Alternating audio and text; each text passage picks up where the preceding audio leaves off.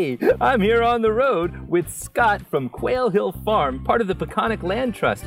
Scott, what is this behind us? This is a compost heap. A real compost heap? It is a real live compost Well, how, what do you use a compost heap for, Scott? Well, a compost pile is really uh, the beginnings of making some soil to put back on the soil to make the soil healthier. Wait, all, all this stuff breaks down and becomes soil? It does. It breaks down and becomes soil. Oh, well, well how do you make a compost pile? Well, you take things like vegetable scraps, Mhm. things that you eat, or, you know, whatever left over from that. But how does it go from being a pile of old fruit and vegetable scraps to being compost?